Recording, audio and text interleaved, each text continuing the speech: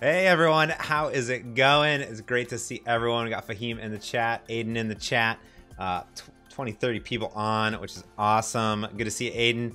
Thanks for being a member and a subscriber as well to the channel. Let me turn this down in your uh, headphones a little bit right here. There we go, perfect. Uh, I'm super excited. We got lots of stuff happening in the office, uh, which is rad. Some remodeling. Uh, we weren't here last week. Of course, you know, I moved to YouTube, so I didn't have to stream every single week anyways. Um, but everyone's healthy. Everyone's good. Software CDN is in the house. Good to see you. Um, you know, I should also make Aiden a, a mod as well. Let's do that. There you go. Cool. Just in case we get any things going on. Kevin, good to see you as well. Thanks to all of our brand new members um, that have been joining up over the last two weeks. Super appreciate it. I started kind of promoting it finally inside of uh, some of the videos, which is good. Uh, and then I'm going to do an exclusive member stream in February as well. That is my plan. But thanks to Henrik, Will, Lloyd, Illa, and Alexander in the last two weeks joining up. Super appreciate that. And for all of our members as well, which is great. Are we ever going to see you play that pinball machine? Oh, the pachinko machine? Uh, probably. It works. It works 100%. Yeah, I can put a ball in. Hold on. Here you go.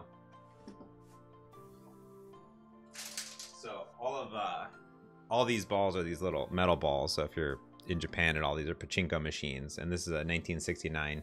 Um, I forget Nakas Naka, Nakasan, I think. Uh, I forget what it is, but it's like partridge is the one.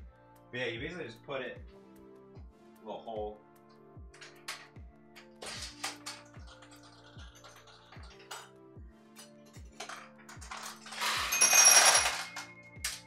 I got it.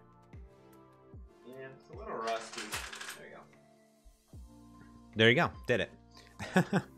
Software. There you go. Uh, so the the goal of this is to obviously get it into any of the little little um, cups, and then you win additional balls, and you would cash those out basically. Uh, that's that's a rare occurrence that we saw there because me and my wife were playing the other night as we were redoing some of the office, and we played for like five minutes and didn't get a single one, which is funny. So, and then there's a little lever in this little thing here, which basically gives you 20, uh, 20 new balls that go down into the bottom down over here by my Microsoft plaque. Um, and then that thing, it probably needs some WD-40. It's a, it just, it doesn't go there. But yeah, there you go. Took me a while to actually figure that all out. Let's answer some questions in the chat. In the chat, in the chat this morning. Uh, you know, we had someone ask, uh, I think pre-chat, he probably is not here anymore. Uh, Hint Software was asking about Shell with Blazor. Um, I don't think you need like Shell. I mean, Shell wouldn't be a concept of Blazor, but if you were doing like .NET MAUI plus Blazor, you could use Shell and .NET and Blazor together, right? You would just load each page basically as well. So you would, um, for each of your pages, those pages would just have Blazor um, items inside of it. In fact, um, the podcast application, which I'm going to be updating today as well, over here. Um, let me go and go over to my computer. Computer. Um, in the podcast app, if you actually take a look at the the well, this is the mobile Blazor, but if you took a look at just mobile, and you took a look at um, pages, and then mobile shell, this is the shell here. So we have just tabs, tab, tab, tab, tab. So one thing that you see here is, is pretty interesting. So this is the listen together page. And I'm going to go to this listen together page and show you what that looks like, which is right here. And that page is just a Blazor web view. Man, pretty cool. So you can use shell and all the things I've been showing you and just put them into into a shell. You know, all, all the Blazor stuff and put it into a shell, for example, there. So you can do all that. It's cool. Fahim says it's a cold, a good evening, chilly cold. It was really cold here last night. It was in the 20s. I family back in the the mid uh, Midwest here in the states, and they said it was like one degree, negative 17 Fahrenheit. Too cold. George, good to see you. Marcus, good to see you as well. Marcus asking some questions. Since I'm a mobile, since you are a mobile expert too, I like to pretend that I am. Marcus, I don't know if I am anymore as much. I am, I a little bit. I I, I know the mobile tiny bit. Um, let's see. how would you go about doing transitions in Blazor Maui? I don't see anything about supporting it. Uh, probably just CSS transitions. Probably is what I would do. It's like animations, transitions, translations. That's all CSS gobbledygook. You know what I mean? You just go in there and do all that stuff. Pretty sure. I think. If you're doing Blazor, you're just gonna do Blazory things. So whatever Blazor does, that's what you would do. You know what I mean? Probably CSS transitions, probably. Around negative 8C, that is way too cold. Well, actually, I guess negative 8. That's 17. So yeah, that's about what it was. It was about, yeah, it was about like negative there. Which one, Aiden? Which technical term? Adrian, good to see you as well. Um, yeah, I mean, you can see so there's there's um some other samples of .NET MAUI plus Blazor that you can take a look at that show you how to share state between the two different objects, right? So you can share state between your um, between your um, native views and also your web web views as well. So you just share like a, a common state. We learned about state here as well. CSS gobbledygook. Yes, that's correct. Yeah, because you know CSS is just like CSS. It's a thing. How do you add CSS in Xamarin? Uh, that's a great. So, um, you can do that. Like what you would end up doing is like I like to style my controls in in just XAML. But if you're if you have Blazor UI in your .NET MAUI application, then you would want um then you would want um you know to do web stuff or your web views, right? You're not going to style your native controls with your web controls. You could, but you could share the state there. They'll probably be a little bit different because there's like kind of web standards and then there's like .NET MAUI Xamarin Form standards. So you would want to take a look at those. But you could probably share a lot of your CSS or inherit from some base classes there probably. So many questions in the chat. My my goodness. My goodness, people. Thanks for tuning in. Let's answer a few more. Um yeah, because Marcus, yeah, you wouldn't you wouldn't leverage native transition effects while using Blazor and Maui. No, for your native controls, yes, but not for your Blazor controls.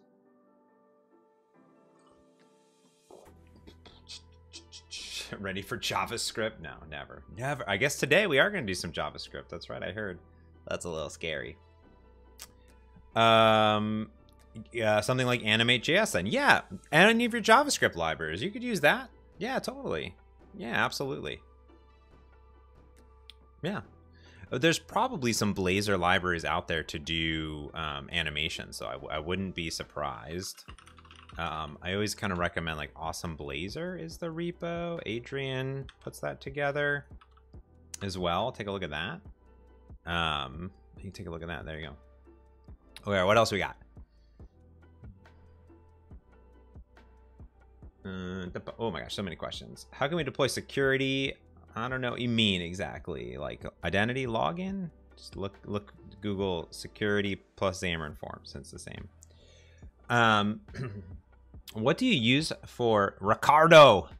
Ricardo, what do you use for hosting web app and SQL Server? All sites that I know are too expensive. Um, I just use Azure. There's multiple free tiers. You can get a SQL Server as low as like five dollars a month um, for the basic tier. And then websites, I think you can do a free tier or basic tier for dev, which, you know, kind of spins up and spins down. Um, those are either free uh, or not. You can also just subscribe, you know, sign up for Azure credits too to get free websites hosted. But I think it starts at like 20 bucks or something like that uh, a month. I'm not really positive. But if you're doing like a static web app, you can also do that too. That's free.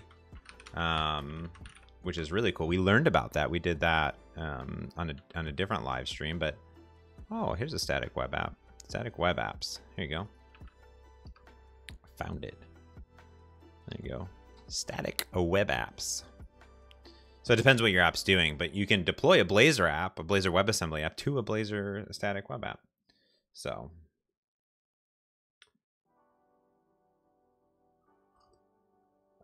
I Don't know if my voice is low or not loud enough. I know I'm pretty loud, I think. I'm looking at my control volume, so that should be pretty high, but let me know in the chat because I don't want to peak too much over there. That'd be bad in general. So just let me know, but it's it's pretty much at the max right now. That is the max volume. It might be a tiny, a tiny bit bigger. Um, thanks for the link. Uh, okay, cool, cool, cool. See if anyone anyone can come in anytime we get these like spam ones. Moderators, you can just go in. You can just say, um, hide user on this channel is what you can do, and then pew, down. Um, can you explain more about custom element? I don't know what that means.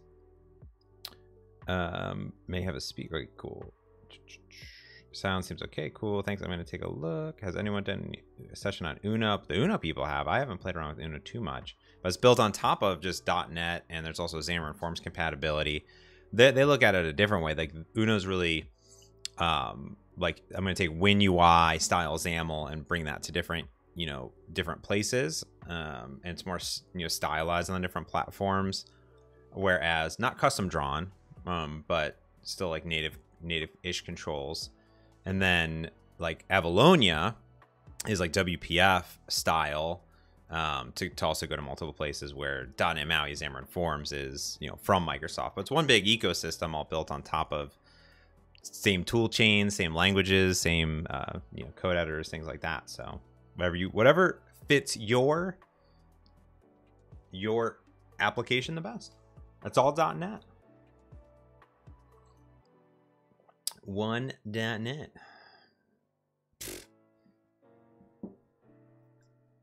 No mangoes around, unfortunately. Um, a bit confusing, um, Marcus says. Yeah, think of it like this, right? You have this big ecosystem out there. And I think it's the cool part about .NET, right, in general, is that um, that over the years since .NET's been around for a long time, just like kind of think of JavaScript. Like JavaScript, there's a lot of ways of building web apps, right? You could build an Angular app, a React app, a Vue app, right? And they all use JavaScript in different components. You can think about that, but like for the .NET ecosystem, right? I think that's the cool part about it is if you look at .NET more as like a JavaScript ecosystem, what you have is you have many companies and communities that have had their own niches that they want to build for. And those niches have grown into really big projects.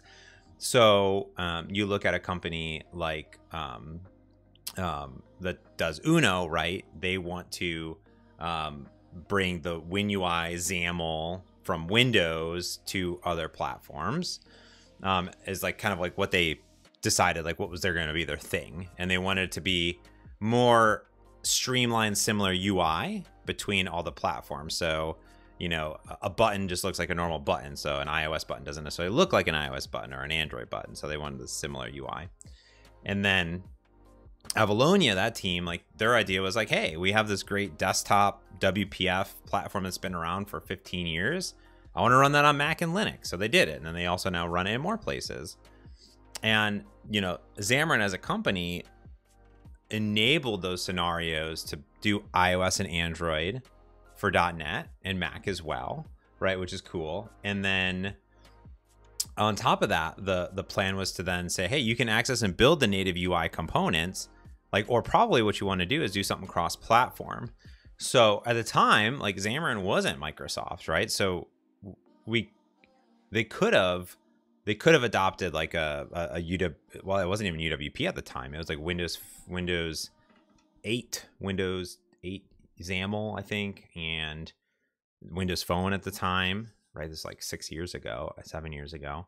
And then eight years ago. Hey, Alex, Mr. Blount, we're, we're, we're doing a background history of, of Xamarin. Oh my goodness, giving it a great time. Israel, thank you for subscribing to the channel. I appreciate that. Um, right, the team had to make a decision. Like, what do you do? Uh, and in fact, XAML wasn't even the, the way you built apps originally. It was all C sharp. Um, but XAML was added later because there's a strong demand from the community uh, to add XAML on. We'll make Alex a moderator too. How many moderators can I have? I mean, we just had a great chat yesterday with with that. Sun's coming out over here. It's gonna start peeking in soon, I'm sure. Um, so yeah, the team just had to make a decision. They decided like, hey, you know, if they want to evolve independently. It is was its own company, then have your own style of, of UI there. And then .NET MAUI adopts a lot of the, you know, 99% of what came from Xamarin Forms for the, the control names and the parameters. You don't want to break stuff, right? You don't want to break every single application out there. That's no fun. You want a smooth transition up. So hopefully that is a great background definition explanation for you um, as well. Uh, Fahim says, can we target just a particular platform in Maui, just Android? Yeah, totally. Go into the CS Proj and just remove the other ones that you don't want. You want them later? Add them back in. Or just ignore them. Yeah. Totally there. Totally the same thing. So, you're all good. That's what I would do. New asks, why isn't Maui supporting web like Flutter? Blazor's more for web developers, HTML, CSS.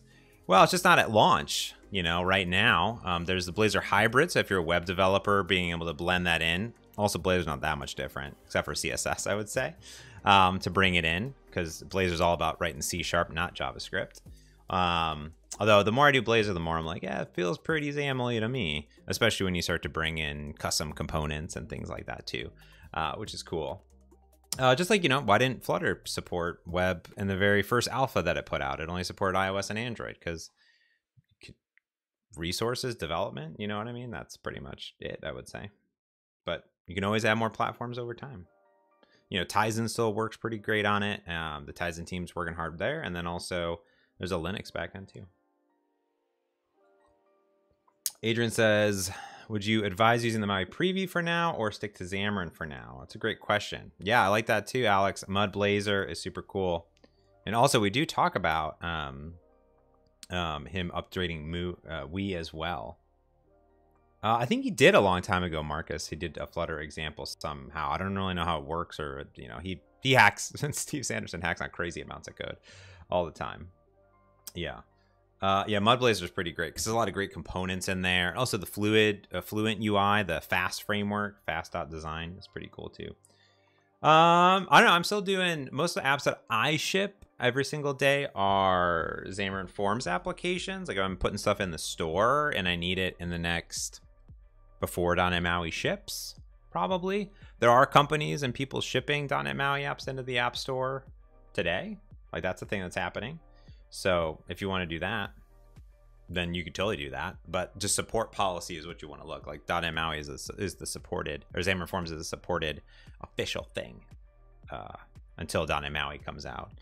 Things like that. So, but I think it's good to start playing around with it. The nice thing is that all your XAML and stuff will move over. You know, you might get some different styling, especially on Windows, because that'll use like the new hotness. But you know, that's kind of up to you like I'm definitely going to move my stream timer over to .NET MAUI. Like, it'll probably the first app I do, and that's only desktop. Like, that will only be desktop there. The biggest thing to kind of take a look at is if all the NuGet packages that you um, use in your application uh, support it. You know, support uh, have .NET MAUI support built in or not. So, yeah.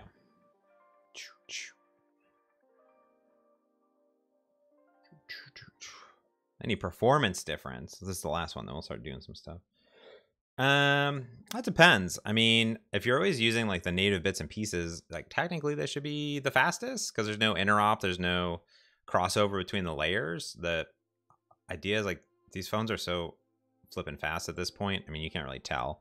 I mean, I opened my app that I just built. I just built a ski park app.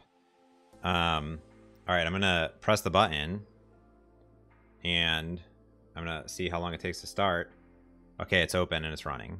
Okay, that took. this is an iPhone SE. That's not even like the, you know what I mean? Like uh, this is up and running in five seconds, and with all the data. And for it to boot past the load screen, less than one quarter of a second. You know what I mean? Like from a cold boot, ready, and it's live. So I mean, you couldn't even. it's so fast, so it didn't matter. And I, I test that on the old Pixel 2 as well. Well, of course, you can always write bad code and slow it down if you do a lot of stuff on startup, which is bad too. Can we put our, our Blazor components that use native dependencies in a, I don't know what RCL means. Oh, Razor class library and add it to Maui. Yes, I think so. Mike, good to see you. Thanks for being a member. I appreciate that. Uh, I think so. Mod, I'm not I'm not 100% positive, but I think so. Yeah, I am. Uh, my apps are super fast. So, uh, you know, there's LLVM compilation and all sorts of pre stuff that you do. It's all super nice. Especially iOS. It's just, I mean, this is this is a two year old phone that's not even there. Your your app if you if it starts after 10 seconds, well, in debug, it's going to start slower, right? Always. Like, be aware of that because it's it's doing a full compilation. It's doing a full boot up. It's booting the debugger. It's booting a whole bunch of stuff, the full runtime and and and things are happening cross communication when you actually compile and put everything together right and actually go through a full compilation a full linker all the things just like in blazor right there's like all this compilation you do when you release your application it's always going to be way crazy faster in release mode right so if your app is starting and it takes 10 seconds then that there's probably a problem somewhere else adrian thank you so much for being a member, just subscribing up. Thank you so much. Of course, that helps out the channel. Welcome to the Code Monkey crew. Woo! Appreciate that. Be part of some exclusive streams and videos and a whole bunch of things in the community feed um, a channel. There's a whole bunch of cool things and surveys that I do over there for the members. Appreciate that. Um, but yeah, Fahim, definitely take a look at the release documentation. Um, of course, like I said, if you're in debug mode, it's going to take a lot longer because it's debugging the application. Whew. Man, we just talked about a lot of stuff today. that is for sure. Um, do I plan on doing a Maui course on Pluralsight? Not me. Uh, you know, because I'd have to do stuff. You know, I'd put it out for free, right? I wouldn't. I wouldn't. You know, personally, I'm. I'm not like I wouldn't do that.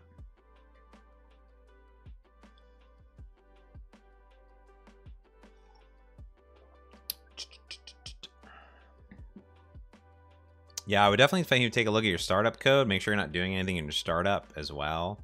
Um, you take a look at my coffee app uh, sample. That's the thing I've been building out live here, which is good too. Be good to go. I'm sure somebody will. I should probably work with someone on that and do that there. But yeah, I, I do appreciate it. Yeah, I mean that's a weird that's a weird balance, right? I mean my day job is working at Microsoft developer advocacy. My whole thing is giving away free content, so I'm not against it if the Pluralsight team wants to make it all for free. So if anyone knows anyone at Pluralsight and they want to give it away with no paywall, no sign up, I'm down. But definitely look out. We're going to have Microsoft Learn content drop in for free. That's from, um, I've worked with the team um, to build that out. We're going to be doing some 101 videos. We're going to be doing a whole bunch of stuff. So you're going to see my face. You're going to see this mug everywhere. So maybe. Hopefully more like Maddie and, and David and other people. I'm just just a manager now. I was in a call. As I told Alex, Mr. Blounty, I said, I'm just a manager now. Just a manager now. Although I am giving some wicked user group talks. I'm really excited about it. Next week, uh, I tweeted it out. Uh, put it on my LinkedIn uh, doing Blazor Maui stuff, introduction. Super excited. Adriano's got a cool mug. I'm going to redo all my badges and a bunch of other stuff too. I got to get with my design team. So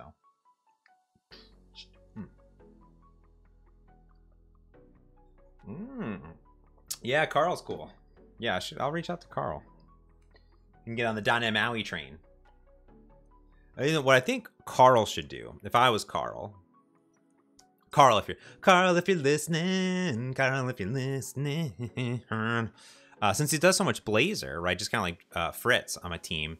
Uh, I'm encouraging them to really double down on the on the .NET Maui Blazor Blazor hybrid train because that's a natural progression, right? You don't have to worry so much about all of the native bits and pieces. You can just really focus in on that.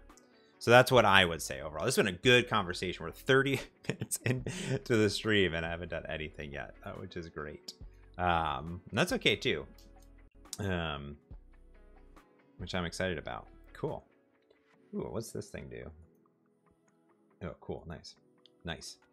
Uh, but that's a good idea let just tell why don't you ping Carl? Let him just say, hey Carl, James had this great idea. He had a great idea. He never has ideas. James never has ideas, but he's got one. All right, so we got two more live episodes back in the Blazor learning series because you know I've been talking about Don and Maui plus Blazer together for a while, but like I don't even know what I'm talking about, right? I'm just uh just all over the place. Now and forever. Heiko, thank you so much for becoming a member. Welcome to the Code Monkey Crew, Code Monkey Crew. We make awesome donations to really cool nonprofits in the world. Um, whoa, awesome from Germany. We're in Germany. Heiko, I spent a lot of time in um, Munich mostly because I spent a lot of time in Romania, so that was my stopover. Is Blazor enough to work with Maui, or do we need to know XAML? Uh, no, you just do everything in Blazor. Yeah, here's a good example. I mean, I mean, if you're, yeah, you're, you're fine. Take a look at, take a look at this app over here. This is the mobile Blazor app.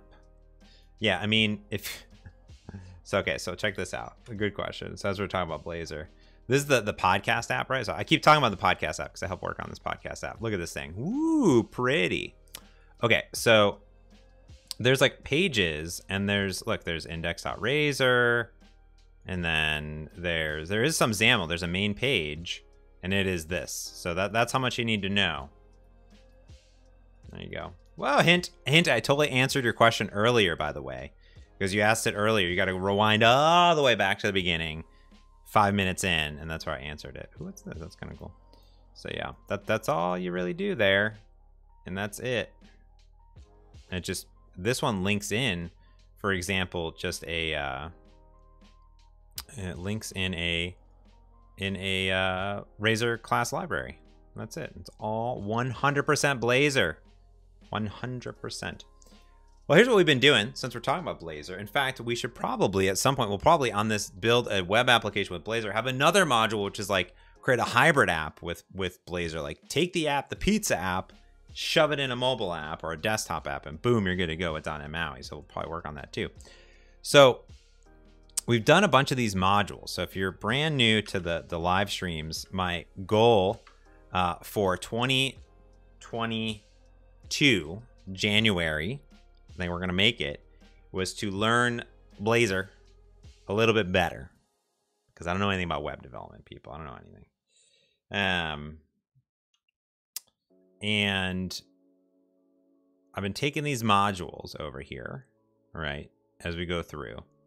And we did these all live together. So these are all on my YouTube channel. They're all archived in the Blazor live stream learning thingy, um, whatnot. And they all have icons now. Look at the little badge up there. Got things over here. Um, there. And then today we're going to be learning about, we did this forms one. That was kind of cool. We're build this one, which is build rich interactive components for your Blazor web apps. So this one says we're going to interrupt with JavaScript code use templated components, and handle events in the lifecycle of components. So we'll see how far we get. I'm not really sure. Yeah, hint, I answered your question earlier in in the stream, so you gotta go back. Back in time. So it says we're gonna use JavaScript today. We're gonna use some JavaScript. Look at that, JavaScript. We're gonna do some lifecycle events and we're gonna use some components. I don't think we've uh, accessed the DOM yet. I guess you would access the DOM from JavaScript. So I guess we would do that. Um, um, Blitz, I'm pretty sure but I haven't done it yet, so I'm still learning. Still learning.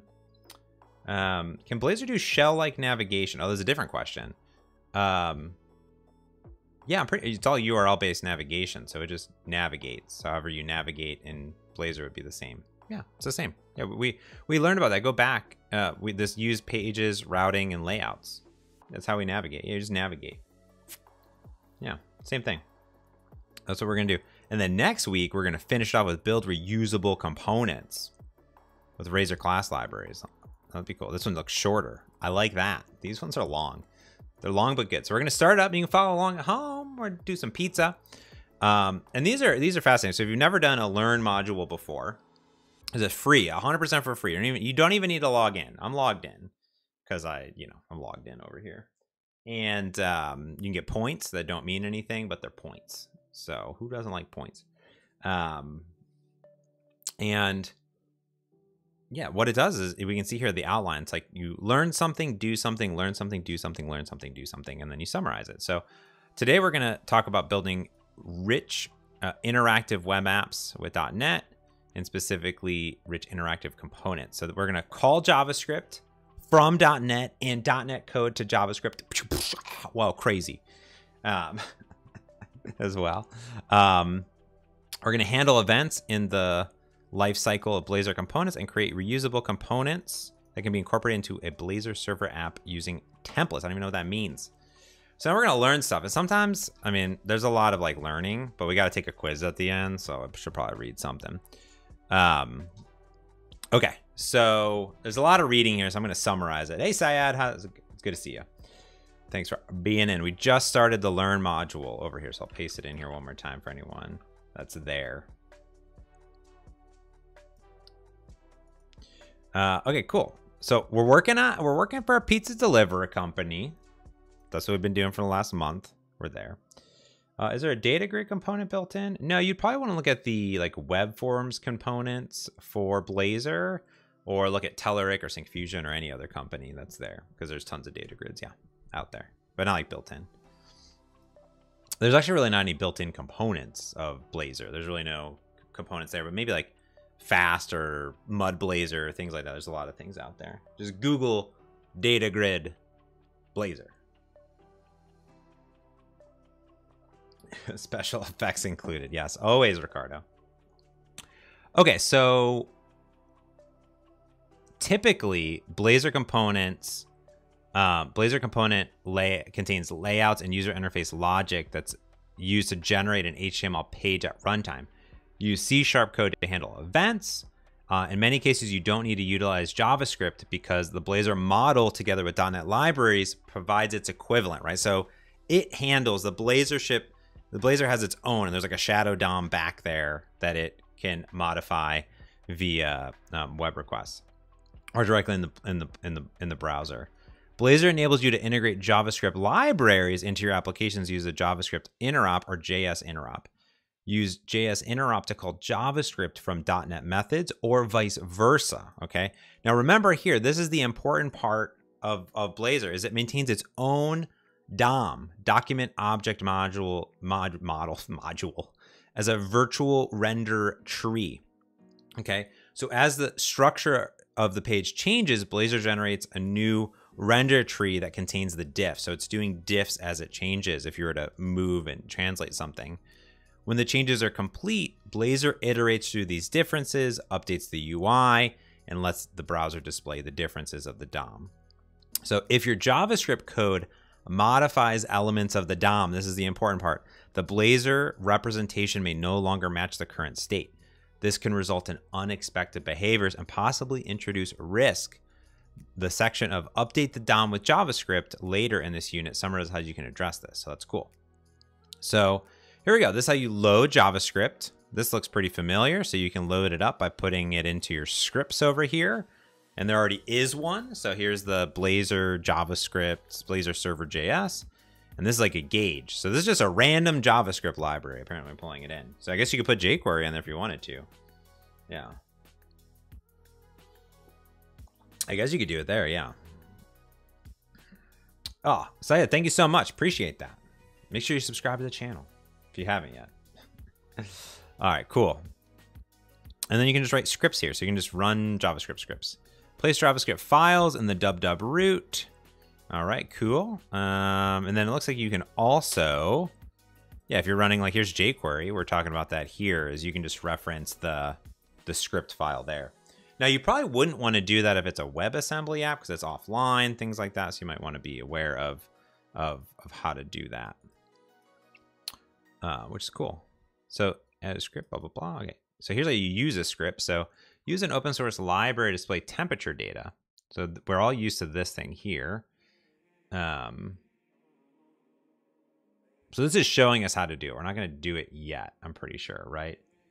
So it says you can download it. You would do this, npm canvas gauge. Oh, that's cool. So you just use npm install to do it, um, just like you normally would. The library gauge will be downloaded into the node modules canvas under www roots folder. And then you would include it. That's cool. So then open this page and add two empty columns. Then use these headers. Okay. There's our canvas. So now we're just like using stuff like just as if you were doing normal stuff, right? Basically, if you're a web developer, shoving in data into here. Oh, and there's even a data value thing. That's cool. It says when you run and build the app, go to the fetch data page. The temperatures are displayed graphically using JavaScript library. So that's what they would look like. Whoa, cool. That's neat. Deploy JavaScript libraries to Azure. Whoa. If you want to add JavaScript files as a local resource in a Blazor server project, you must ensure that the file is transferred correctly when you deploy the app to the web server. Using Visual Studio Code Editor, make sure you do this. Copy to output directory. Oh, interesting. That's cool. Okay. So if we want to now call JavaScript from .NET Code, this is probably the more the more realistic thing, right? Because this is just I've just included it and I've kind of included a control over here. And that's cool that you can do the binding still. All right, that's kind of neato. Hey, Jose, good to see ya. Good to see ya. Welcome over here to the stream. Everyone should go check out Jose. I think he's twitching all the time. He's Twitch streaming? You drop a, drop a link in there for where you're at. I'm super impressed with your layout. I've been cleaning off my desk. I can't really show it right now, but I'm working on it to get a sweet setup like you. Jose, I'm working on it. Okay, cool. So this this is probably what you'd want to do the most. Is sometimes you just need to call a little JavaScript. Like sometimes you need to like launch a website from code, for example. That that's a, a thing that you probably want to do. There's this invoke async or invoke void async to call JavaScript methods, and you can even await on it, which is cool. So there's promises. So update the title in the page header. I don't think you really need to do this anymore because there's a there's a title property in Blazor now, but if you needed to. Uh, this is the JavaScript, so change title. And then here, you know, you could invoke the change title and then you would pass it a parameter. So that's kind of cool. Like you're defining this change title over here. And then you're just calling this JavaScript method. It's kind of cool. And then look at updates. Boom. Whoa, whoa, whoa, whoa. Update the DOM with JavaScript using an element reference type. Ooh. So many third-party libraries are available to render elements on the page. These libraries make up these libraries make updates make updates uh, to the DOM as described earlier. Blazor maintains its own copy of the DOM, so it's important to important not to make changes that can cause the Blazor view of the DOM to become corrupted. Simplest way to handle this is to create a placeholder element in the Blazor component, usually with a div. Your Blazor code simply sees this content as blank, and Blazor render doesn't attempt to track its contents. Oh, that's cool. So you can be like basically ignore. Okay, so you pass a reference to the element from Blazor to JavaScript by creating an element reference. The fragment below shows a div element added to the fetch. This div will be used to display a line graph showing the temperature. Wow, that's cool. Plotly. Plotly. Uh, probably there's just so much JavaScript libraries. You can create an element reference with the at ref. Okay, so here, this is what it's showing, is that we're inserting a graph into here, right? Basically, and we're calling this method called show graph right? But this is the placeholder, and we're passing it data over here. So we have the CDN, a Plotly. Oh, here's the method show graph, where we're taking in data, the, the graph div. We're calling this method plotting new data. That's cool, just in JavaScript. And then we show this thing. That's cool. Making it robust. Oh, interesting. So Blazor server running your app, add, add the browser. Remember that Blazor server running your Blazor app and the browser running your JavaScript code that you call from are running on different processes. They're different. They communicate via SignalR. Networks are prone to connection loss, blah, blah, blah, blah, blah. Okay, so there's a timeout. Basically, you can give it a timeout here. Add server-side Blazor, and you can say give it a timeout of 120 seconds. That's cool. Hmm. To specify the timeout for a particular call, provide the, the timeout period with invoke. So you can say, hey, I'll timeout after 30 seconds. Cool. Call .NET code from JavaScript. That's even more crazy. Um, JavaScript code can run in a .NET method defined in your Blazor code because they define invoke method and invoke method async. Whoa. Um, define method as async if you're calling async. That makes sense. Cool. So this is cool. So we have this method. Whoa, cool. So this is neato. So, um, that's a note change to static causes a bug. So should we not make it static? Uh, I'm gonna have to just Jeff about that. I don't know what that's there for. what is that? Uh, we'll see. Okay, so you just add this JS invocable here, and then you call this. Now, ideally, you probably actually wouldn't do it this way. I mean, this is a very convoluted scenario, right? Because you would you would just make this a normal method that you would call over here. But if you wanted to, then this technically is JavaScript, but I would I would probably say you don't need to do that there. Oh, I see what it's doing. I see. It's like this is the calculate averages, uh, which is calling this .NET.invoke method async. Oh, that's kind of cool. Hey, Gustav, good to see you. Oh, I see. Gotcha. Okay. Well, there's a lot of stuff. Okay, cool. Uh, bah, bah, bah, what's this? Call a .NET instance method from JavaScript. To run instant method, JavaScript requires an object reference. Okay, so that's static. This would be like an, an actual uh, reference method. So we have an object reference. Populate object reference. Ooh. Oh, so when the window loads, you can get a, a, a reference to basically the code behind. That makes sense. That's cool. And then you don't have to make it static. You just make it a Ooh, a .NET object reference. That's so interesting. Okay, so if you're going to include a JavaScript file on a Blazor page, what is a recommended way to do it? Add a script on the Blazor page. Add a script to the page's host CSHTML or add a script to the Razor. Well, I'm pretty sure you don't add it to the Razor pages, it's the Razor files itself. I'm pretty sure it's on this host because it already is CSHTML, so I'm gonna go with that one. Well, this is tricky. Uh, okay, which method? This is it's not as tricky. Maybe. Okay, which method should be used to invoke JavaScript from C Sharp that returns void? Well, this is the only one that says void in it does say async though, so I'm gonna go with that. Let's check it out. Oh, I did. Okay, cool. Done. All right, let's do it. Next ones. We're actually gonna do stuff now. Okay, so we're gonna open up code over here. All right. And we are going to do what?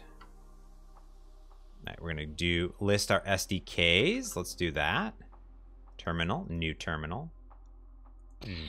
.NET list SDKs, and we got all the SDKs. Oh yeah. So we got 6001 and the preview.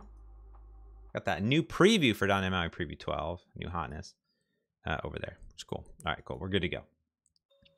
We're going to clone this. Let's do that. So let's do um, this. So we're going to go to Okay. So we're on our desktop. I'm going to clone this repo into Blazing Pizza. Okay. I'm using VS Code just because that's what they say to use inside of here. So we're going to use that. To say code dot and just open this a new one up. Perfect. Oop. Cool. Now we're here. We're in. We're in it. So we just have like a pre-built app. Can I hit F5? Is that what they're going to ask me to do? I bet that's what they're going to ask me to do. Press F5 and let's see what kind of pizzas we got. Okay. All right. Hopefully it runs. Yes. Oh, yes. Uh, restore. Update? Update? I don't know. Right, let's try F5 again.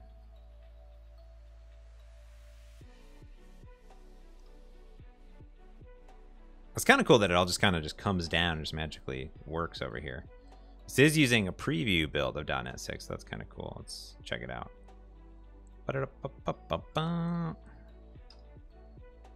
Boop. All right. We got pizzas that are blazing. And we can move pizzas over here. We can order stuff. All right. Oh, there's nothing at this address. Okay, cool. We're kind of interesting. I thought in the previous one we did stuff that actually implemented the header stuff, but maybe just put them in different orders. All right, cool. All right. So we're not doing that one. This is the one we're doing. So we're going to take a look at the index and we are going to inject the runtime over here underneath this. Okay. Oh, what is our actual task? Okay. When a customer adds a pizza to their orders, they can select X to remove it. The company thinks customers might have been clicking this um, and accidentally removing items from their order. Oh no! You'll add a feature that prompts the user to make sure they want to remove the pizza. Super common over here. Oh, Marcus says they were considering a simple grid. I don't know if they ever did. That's a good question. Pizza company wants to be able to show customers the live status of their order. You'll update the order detail page to query the order status in real time. That's cool. In this exercise, you'll extend an existing app and do this stuff here. So let's do it. So we're going to go into our, what I like to do is I like to do this. So we'll make this smaller and make this smaller as well. Oops.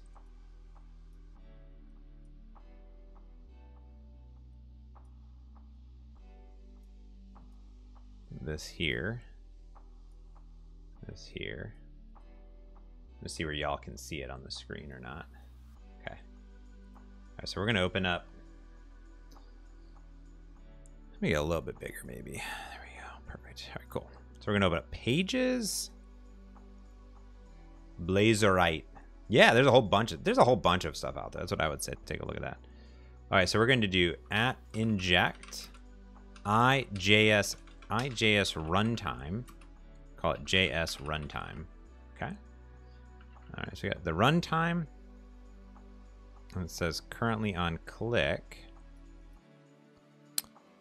Currently on click, it it simply calls remove configured pizza method. That's on here. So we have specials. We have show configured. We have the sidebar. So here is the the X, right? So there's this, there's this delete pizza. Does anyone know how to get rid of this? This little sidebar thing? I never use this thing. Does anyone know how to get rid of this? In Visual Studio Code? I don't know how to do it. Um, personally. Not that, not that I'm mad at it. I'm just not using it. Okay, so we're going to remove that. And we're going to add a new confirm method in our code behind. Ooh, so down here. So we have a new, let's copy this in. So let's then take a look at it. All right, cool. So we have a, we're to call, we have a method here, which is show confirm. All right. Oh, interesting. So this calls JavaScript and returns a Boolean. How do I pass complex parameters to a page? Um, add complex parameters? probably a state object is what you want to do. There was a video we did a few two weeks ago, hint, which is all about you know that stuff.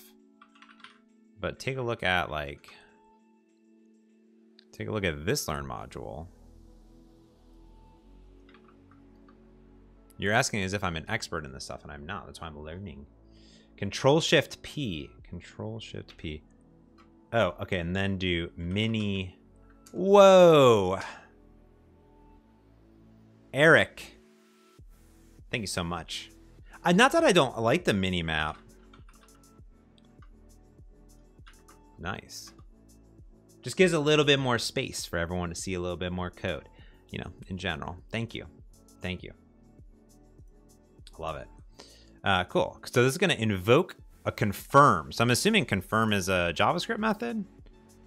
Oh, look at this. Do you want to remove this pizza? And you can just do string interpolation from your order. All right. Oh, and we pass it the pizza. Cool. And then we remove it. Okay. So my assumption is that... See, I don't know why I don't have that. Oh. Maybe I need to clear the cache on that. Let's see. So I'm assuming that what we'll do is show confirm instead. So if I go up here, we want to call this method. Don't really tell me what to do. Um, remove configured. Yeah, we want to do this. Show confirm. Is that right? Yeah. Okay. Then we pass it the the pizza. Okay. Cool. See, it doesn't actually tell me to do that. Add a new method call if the customer selects call this. Okay. This method takes the selected pizza. Sometimes I like to take notes here and be like, okay, what am I supposed to do? So I'm going to say this is in section three. I say update. These are all new. So I want to go through and I want to fix up. If I run into problems, I want to fix them up in code. So you'll see, actually see the previous ones I've added a bunch of pull requests to get pulled in. So this method takes a parameter, calls this. The response is here. So here it just says F5. But the thing is, it doesn't tell you to like go update this thing. So we, we, we updated the click to call this here. So we can go into our terminal. I'm just going to say .NET run. Oop, actually, no, .NET watch. .NET watch. So we can hot reload that puppy. Hot reload that puppy.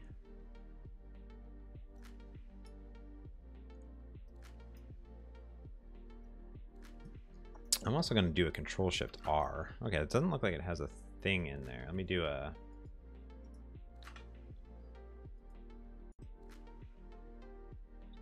I'm wondering if like it... I don't look like it. All right. So we click on this, add it to our order. Oh, that didn't work. That didn't work because I didn't save the file.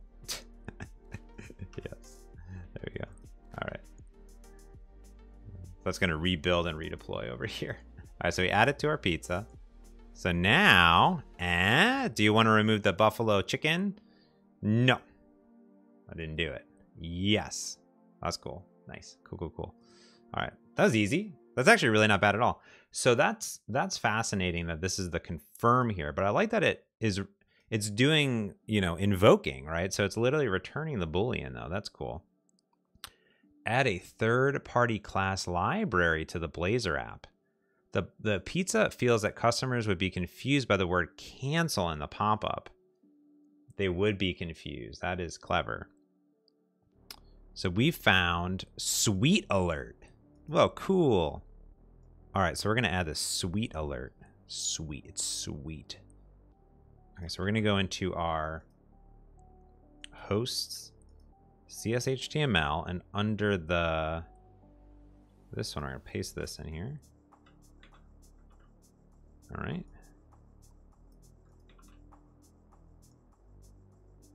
jsDelivr. That makes Sweet Alert now available. Whoa, cool. All right, let's update this code. We're not to write it, but we're to do this to show confirm.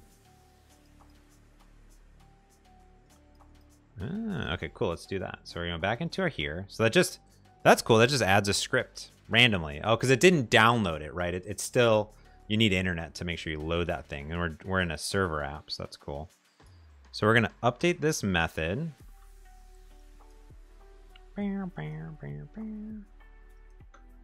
All right, let's get rid of this. Okay, so message parameters. Oh, this is interesting. So this is just anonymous type. So we're kind of guessing. We're like, hey, this JavaScript thingy wants to take these parameters and it's just going to pass it an object with a property bucket, basically. So you'd go and do that. So you have an, uh, an abort and a confirm. Leave it, leave it in my order. Remove pizza, value true, false. That's cool. Icon is warning. All right. And then it's going to call. So this must be the method in the in the thing swal and you pass it the message parameters. Cool. All right let's see if that hot reload worked. Add it. Unhandled. Oh you know what? I bet i probably actually need to oh we gotta i bet it didn't um it probably didn't uh doesn't know how to reload the JavaScript. Probably. So let's add it to our order. Hey, oh, cool. That's amazing. I like that's cool. I didn't even do anything. Oh, this is Blazinator. So we can actually fix the typo in here. From. Typo in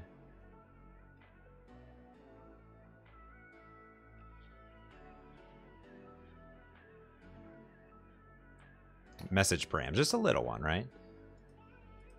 Are you sure? No. Maybe. Amazing. That is cool. Look at that. I mean, okay. I've been doing Xamarin work for a long time, and like, that's pretty cool. You know, it's just boom, here it is, and looks really cool, and that's going to look the same across all of them. That's neat. That is cool. Adrian, I agree. JavaScript, man. It just it's out there. Cool, we did it. Update the order page to show real time. Well, this is a whole nother thing. Okay, cool. Um, let's do that then. Oh, how do I make that smaller?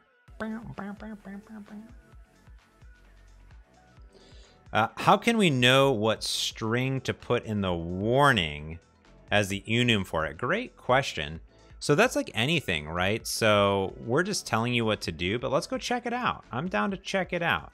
So we're to go look at Sweet Alert. Sweet Alert. JS. KS. No. JS. So this would be it. Cool.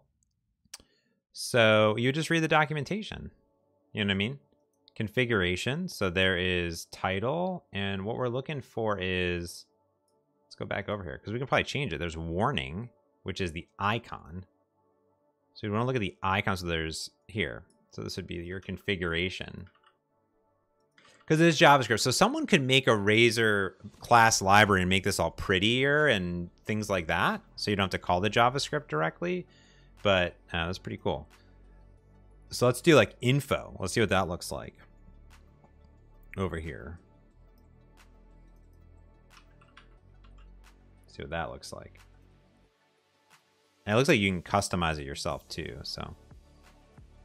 That's info there. It's kind of cool. Yeah. Nice. There you go.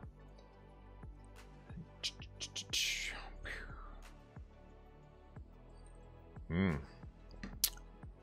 I don't know, Syed. Bindings are tricky. I'd go through the documentation, try to debug it. You might have to add some additional data over there. Eclipse. Oh my goodness. All right, so let's update the order page to show real-time orders. The order detail component currently shows the current status of a pizza order. Does it? I think there might be something missing from this. There's no checkout. Am I wrong?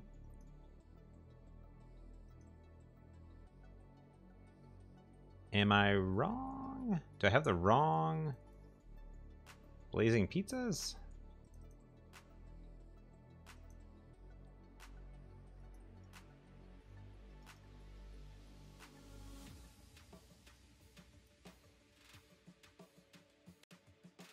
In the file explorer, yeah, there is no order details. Um, that's odd. Let's take a look here.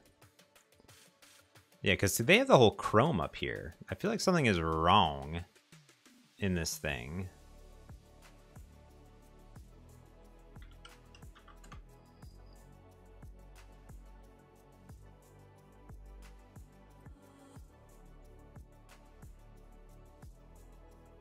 Something wrong with that, that's for sure. Hmm.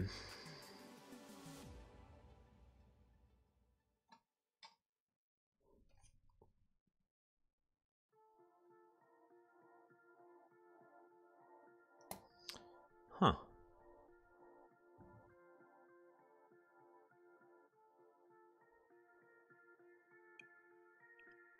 Interesting. That's why we do these modules live, is like it doesn't seem like it has the code that I need. In the File Explorer, explain pa pages. Add some stuff here. This doesn't exist.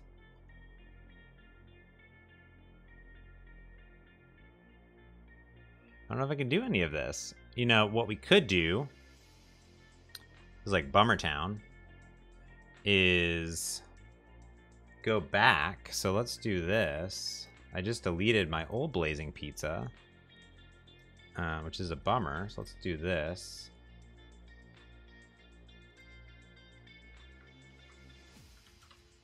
Okay. Let me close this folder.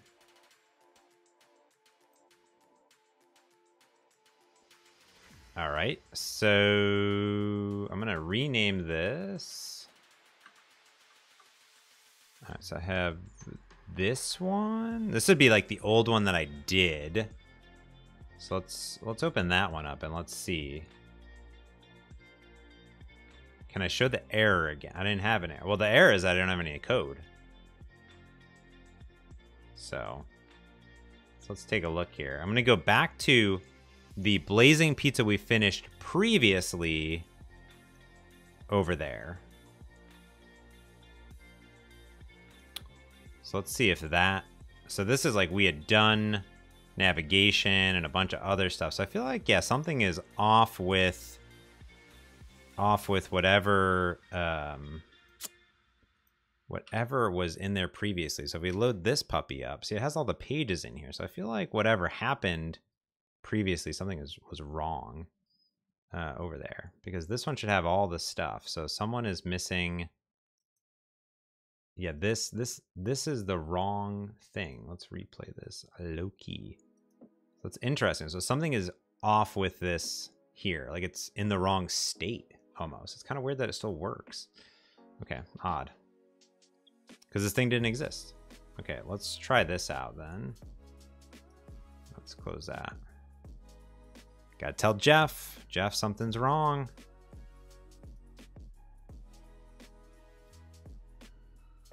Jeff, something is wrong. Okay, let's try this out. Let's... Still debugging? No. Okay. Let's see. So it says to open up the order detail razor it's kind of a bummer because if you're following along at home, you're not going to have that code. So, bummer town, basically. Sorry.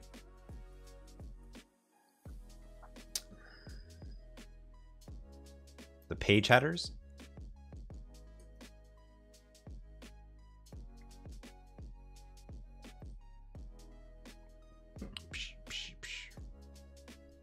Nice. I need more coffee, Adrian, as well. Yeah, so something's wrong there. So I had to go find a different learn module and I cloned that. And that's where we were previously. So if you've been following the other modules, you can continue this. But that's probably why there's some people that gave it a few only stars. So let's add this tag here. I'm, I'm assuming it'll work. I don't know. Um, let's add an ID. Where?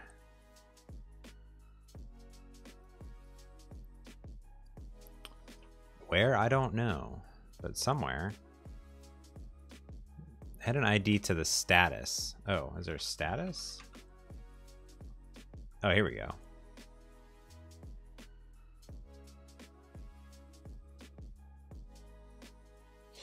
Oh, so it says go find this and then do this. So we're going to replace this.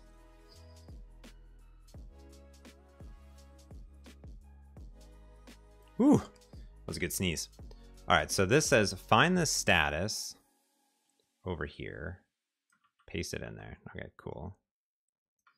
Add a spinner to provide additional feedback.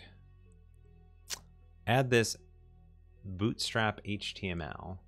So this is saying, so this is like, go find this and put this up here above this. Okay. Oh, no, that's not correct. Copy. Getting a new keyboard. I'm very excited that I'm getting a new keyboard. Uh, my keyboard spilled some water on it. Now it's like really st not sticky. I took it apart, but it um definitely been like missing a lot of keys and stuff like that.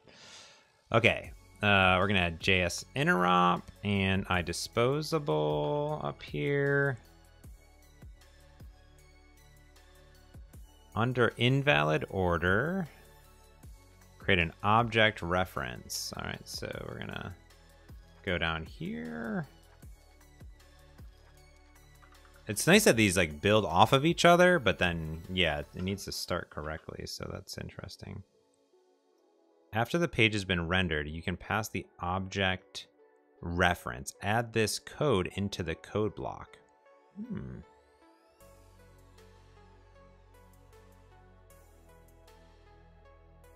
Okay, I don't think we have this. Okay, cool. So this will, copy and pasting is always like pain in my butt because I feel like it doesn't get my tabs correct. So it's going to create a reference to this, and then it's going to call populate object reference method with itself. So it's kind of linking the JavaScript to itself, basically, is what it's doing over here. The code checks to make sure the reference is initialized, and then it passes it in. Okay, cool. Next, you can add the method that JavaScript will call on the client side. So we're going to invoke a method. So we're going to allow JavaScript to call C sharp. That's what we're doing here. So we're going to get this order status and it is going to basically call for this order ID URL. I'm just hoping this is going to work. And when it's all done, we're going to dispose. That's really easy. You could definitely forget to do that pretty much always. so that'd be interesting. Uh, welcome people to the stream. We are following along at home. We're on this Microsoft Learn module, learning about Blazor, JavaScript, interop, um, calling JavaScript from our C Sharp and C Sharp from our JavaScript in our pizza application. So that's what we're doing now. Says call an instance method from JavaScript. There's two ways the client can get the current status order. You could have chosen to call the underlying API of the app and handle the JS response in JavaScript, Gross, gross, gross, gross. Um, you would also need to call this function with an order ID component. Instead, you're going to call the order detail component. Okay. I see. Okay. In the File Explorer, let's go into the hosts CSHTML. And then it says to, at the bottom of the page above the closing of the body, we're going to add this in there. Okay, it's a bunch of code. This is a bunch of code. Okay, so we have an object reference. That's the method we're calling, populate object reference. Refresh order status. Interesting. The refresh order status invokes the method get order status, which is what we just created here. It returns the status text, queries the DOM, updates it, does a thing. Now this is really interesting because it's like, well, what do you really need to do it this way? You could probably just do it all from C sharp. Let's be honest about it. So that's it. Okay, let's see if this works. Uh, let's try it out. Now we don't have our fancy pop-up anymore because I've now opened up a different project. So it's kind of a bummer, but this should ideally work. Let's check it out. So we have our mushroom lovers. Let's add it. Check out. Play. Oh,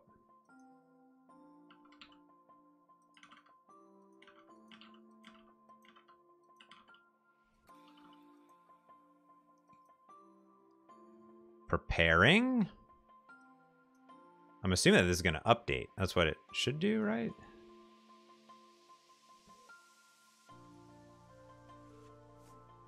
Oh, out for delivery. Whoa, cool. Okay. So this is querying every three seconds, I think, for a new... Yeah, right here. This is setting a timeout of three. Interesting.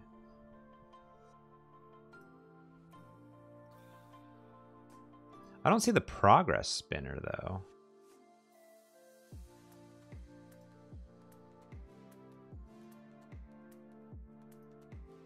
Maybe I put it in the wrong place.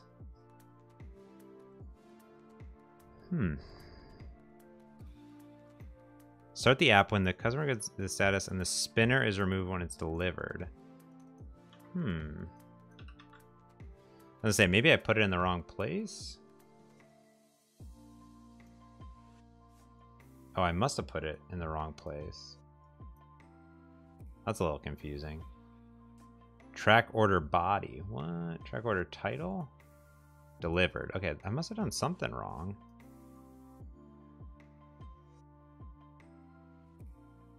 Oh, I wonder if I don't have the spinner class because I don't have the right code. I bet that's it. Yeah. I bet I don't have that code because it's a different module, so that's a bummer. At least it updated correctly. Yeah. I agree. There's probably some other better way of doing that. Let's continue on. Again, I'm, I'm to... I might end up not being able to do some of this learn module because we're in this weird... Oh, my gosh. We're in this weird state that I can't really do a lot of stuff. I'm just like, look at this. Okay. Whew, lots of reading. Okay, let's read it up.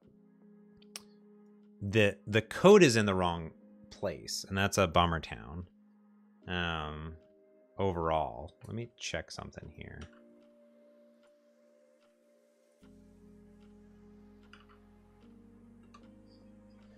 Hmm.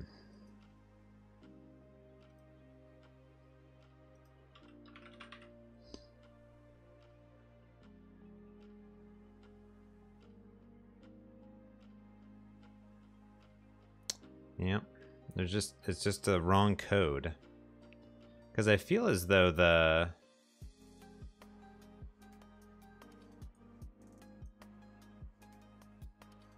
Huh. I don't know which one it would be in. I feel like yeah, it's just missing the wrong it has the wrong code in it. That's a bummer town. That is a bummer town.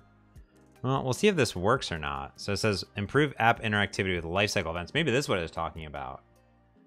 Raheem. Could be. At least I was updating the status. It doesn't have the cool spinner though. Um, says Blazor components are constituent parts of the Blazor apps. All views rendered by the Blazor app are created by using components. A Blazor component defines the layout and user interface logic. When the app starts running, it creates one or more components and uses those components to generate HTML. Cool. When those when the user closes a page, perhaps by going to a different URL on the same page, the component is removed from the render tree maintained by Blazor. The component uses unmanaged resources. You should dispose of these at this point. Uh, okay, that makes sense. So if the user returns to the page, a new instance of the component is created and the lifecycle begins again. Look at this very simple flowchart. this reminds me of Android activity stuff, basically. Create a component instance, set parameter async, initialize, it awaits, has a change, it's a render loop. This is the render loop here. Render the UI, remove from the tree. So for example, here we have the forecast, loads it up, we display the weather, easy peasy. So this initializes it, gets it, good to go. This says it's possible that the page might be rendered before the call to forecast async completes, and the forecast array will still be null. To handle this situation, the markup near the top of the page looks like this. If get forecast operation is not completed, the page displays loading message. When the get forecast async finishes, it's rendered again. Yeah, that's definitely the problem. Fa Fahim, I will get that fixed. I'm to get it fixed. Very upsetting. We'll see if the rest of it we can do it. I'm assuming maybe, so... Understand the set parameters async. When you visit a page that contains a Blazor component, the Blazor runtime creates a new instance of the component and runs the default constructor. Once it's been constructed, set parameters async is called. These parameters are contained in a parameter view object that are accessible via this. So if we look down here, this is our fetch data page. We have a data parameter of date time this gets passed in and we can parse it out basically. We did that previously, which is cool. Understand oninitialize and oninitialize async. These methods are also inherited from component base, and you can override them to include your own functionality. They run after set parameter. So set parameter happens first, then oninitialize. If render mode property of the application set to server, oninitialize and oninitialize async methods only run once for a component instance. That makes sense. It only runs once. That's interesting. If the set to pre-render, the oninitialize and oninitialize async methods run twice. Once during the pre-rendered phase that generates the static output, and again when the SignalR connection is there. Interesting. So that's important if you're in pre-render mode, which I think, you know, live dot dot net is that way. It's a server pre-render, and you can see it just updated right there. Um, which is fascinating. Oh, it just did it right there. That's the connection. So it pre-rendered and then it updated. I'm going to be live with Mads later on the Visual Studio YouTube as well. Check that out, which is cool. So if you refresh it, pre-rendered comes in super fast. Connection did some stuff in my browser. That's cool. Okay. Uh, no, constructors for Blazor components do not support dependency injection. That's important to note. Understanding on parameter set and on parameter set async. These methods run after. So there's set parameters and on parameter set. That's interesting. Um, after render and after render async. These methods run every time Blazor runtime needs to update the view represented. Okay.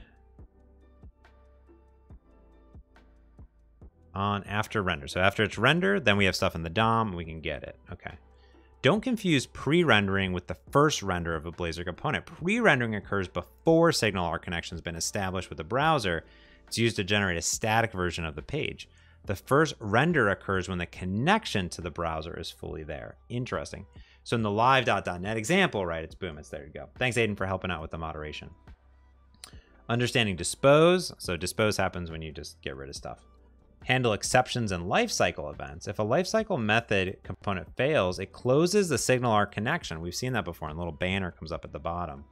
So we should try catch stuff here, basically. Which of the following is not an event in Blazor component lifecycle? Uh, I think on page load, I want to say. Yeah, I think on after render and on initialize async, those are definitely in there. Which of these events does not trigger a parameter set? Ooh. Uh, well, these both have to do with parameters, so I'm going to go with this private fields are allocated. Okay, nice. Mm. All right, let's try this out. Let's see if we can do it or not. We'll find out. So this says select our seed data. Let's go ahead and make this smaller. Boop. And let's see if this is over here running. Create a new family size pizza. Okay, let's try this out. In our seed data class. Boop.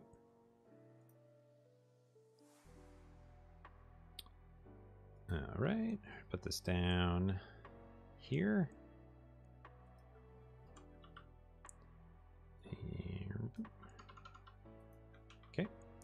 The class is used to pre-populate the pizza, these pizzas in the database. We're going to delete the pizza database to pre-render them. Okay, cool. All right, let's do this. Where's my terminal?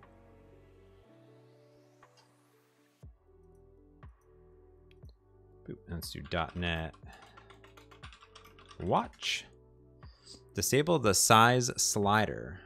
As the configure pizza component uses a range HTML control, you use JavaScript to disable it. Okay, so we're gonna bring this over here. Boop. Boop. Okay, so we're gonna open up the hosts again. We have that. And this says at the bottom, inside the last script tag, we're gonna disable the element. So it, that's interesting. We're going to create a JavaScript method called disable element, pass it an element, and disabled is set to disabled. Okay. The function takes an element as a parameter. We're good. So we're going to go into our configure pizza dialog. I don't know if that exists. Yeah, I don't know how anyone could finish this because it's not here. Uh, into shared. Okay, shared. Configure pizza dialog. Whew, I was a little worried there that it wasn't there. Let's go ahead and inject. At inject IJS runtime JS. Oops. I don't know what you're doing over here. Uh, okay. You'll be able to pass a reference to the size change input. So That's this one, the range at ref equals size range. Okay. In our code block, we're going to create a element reference of size range. All right. After the component has been rendered, it's safe to disable the control. All right. So if the pizza is margarita family size, oh, I see. Disable the element in here. Yeah, that's it. This should just be like if first render and get rid of that. That is silly code. Silly code. There we go. It's better. Sometimes I just don't like how. Just put it all in one line. You don't need two if statements here, you know?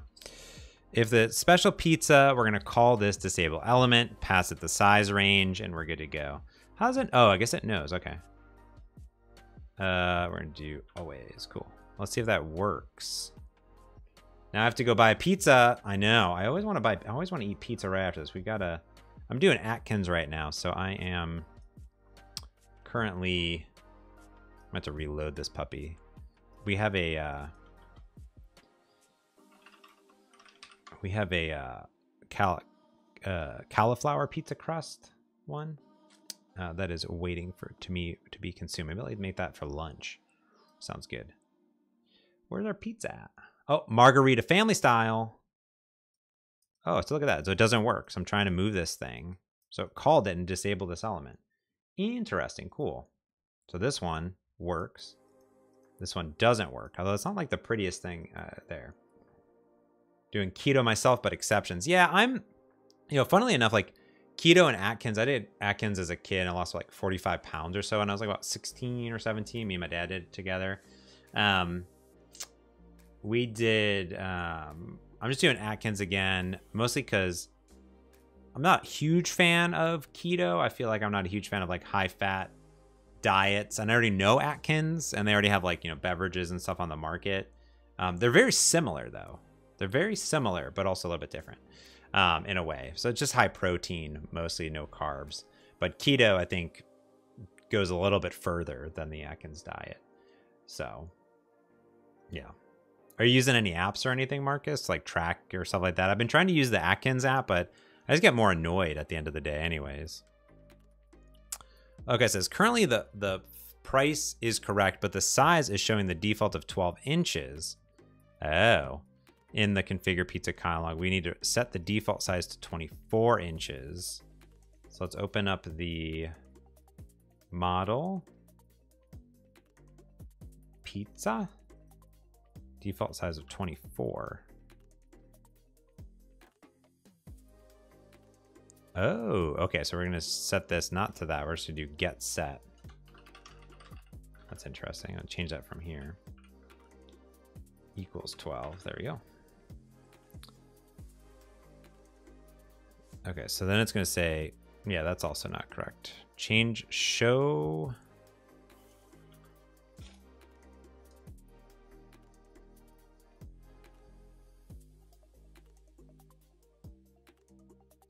we need to find the show configure pizza dialog.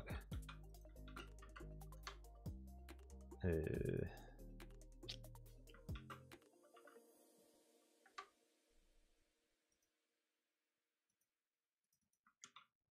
okay, oh, is this in here? Oh, this is in here. No?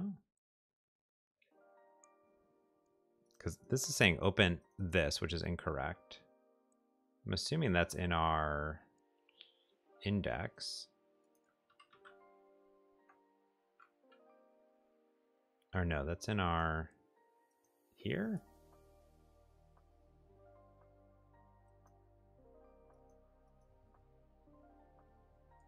Close all. Where's this thing at?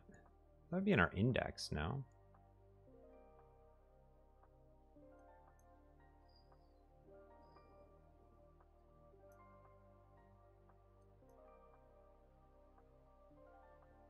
Check out how where is it when I click on a pizza. Configure pizza. order state. Order state? Show configure pizza dialog. That's order state. Okay. This one here says the method access they feel size after size.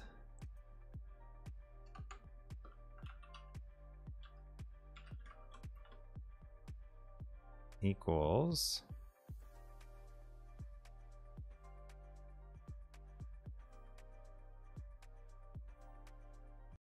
It's already doing it though. Oh. Oh, this says remove it from here, and then this says make it interesting.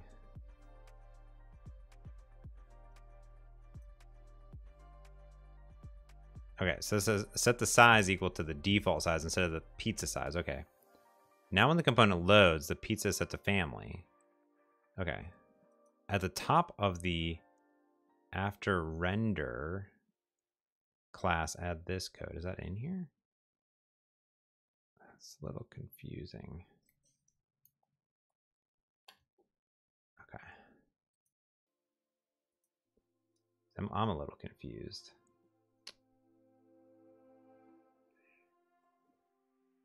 Yeah, I mostly am. Uh, like I said, I've I've been I haven't been been doing intermittent fasting. It seems like a little bit too much for me, but I do a lot of exercising.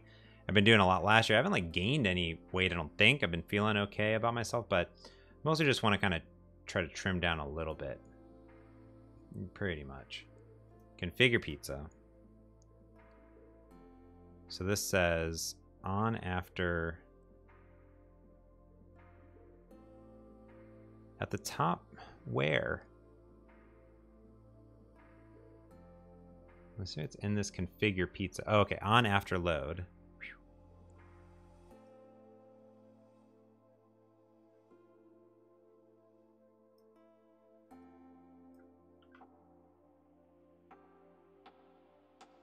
I see why they did that. Interesting. Okay. Okay, so this here, and then do that. So we're going to change the pizza sizes, and then we're going to say if first render, then disable it. Interesting, okay. All right. Let's see if that did it. Whoa. Okay. So now when I tap on this, it says only 24 inches. That's correct. So the inches is correct here. Is it? I don't know if it is. Let's try this again.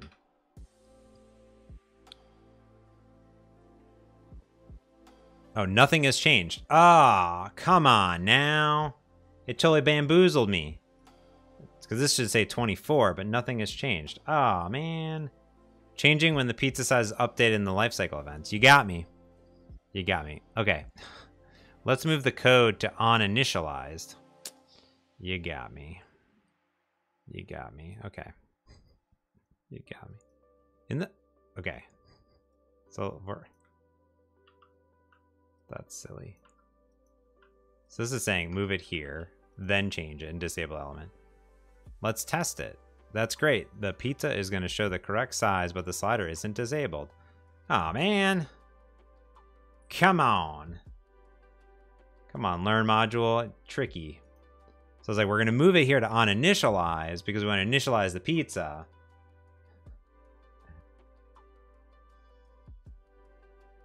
Over here. Oh, thanks. Yeah. Bunch of people worked on it. It's pretty good. So, here, okay, now it says 24 inches of pizza. That's good. But the slider is still enabled. Oh my gosh. Okay. So now what it's saying is I need to actually do this. Oh, this is so silly. Uh, it's good learning. I understand what they're doing. They're teaching you the stuff. They're teaching you the stuff. So this says OnInitialized, if it's the mark pizza, we would probably want to have a, a boolean that says is family size. That's just me personally, but what do I know? And then this is saying do this here. Okay, got it. Okay, so okay. I I see what you did there, learn module. I see what you did there. Tricky, tricky, tricky.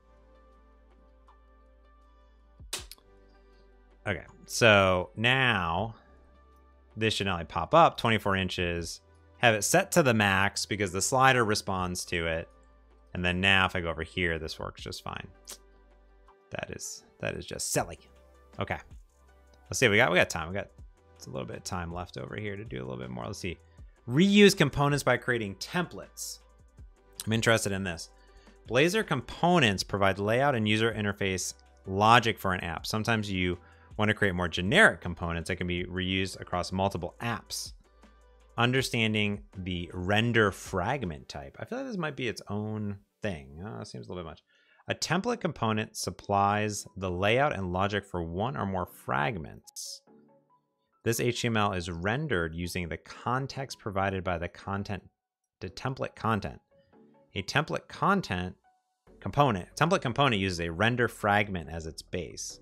So this is what it's doing is it's at child content. Okay. A template is just an ordinary Razor component. ordinary and fine. To use this, the Razor page creates a heading component element and specifies the markup to be displayed by the template as the body of the element. This markup will be passed to the child content. That's kind of cool. So you can just create this little thing here. Interesting. Hmm. Slash test page. How does it know to go there? Okay. The name child content is the default name for the render parameter. You can give the parameter anything you want. So this is the child content. You could also call it body content. Interesting. Hmm. Just got bamboozled. There you go. Yes. we talk, we we use that reference all the time around the house. It's funny. Oh, so you have multiple render fragments. That's kind of cool. Interesting. Header content and the body content. Oh, wow. Look at that. And there's H3 up here. That's cool. So, oh, cool. Header content, body content. That's neat. So you're creating these templates and like this is only going to reference this up here. Oh, that's kind of cool. Exactly. Go past the mud hut through the rainbow ring to get to the gold monkey. Boom. Paradise spawn. Um, Cool. Understanding generic renders. Okay, cool. So we have data type, blah, blah, blah, blah, blah. Uh, blah, blah, blah, blah, blah, blah, blah, blah, blah, blah. Blah, blah, blah, blah, blah. Doing stuff, doing stuff. Vertical tab container. Cascading parameters. Okay, we should probably actually read that.